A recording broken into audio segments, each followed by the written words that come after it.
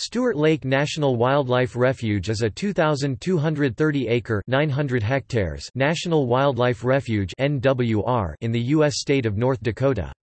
Almost 1,600 acres 650 hectares of Stewart Lake NWR is an easement refuge and is on privately owned land, but the landowners and U.S. government work cooperatively to protect the resources. The remaining acreage is on public lands. The U.S.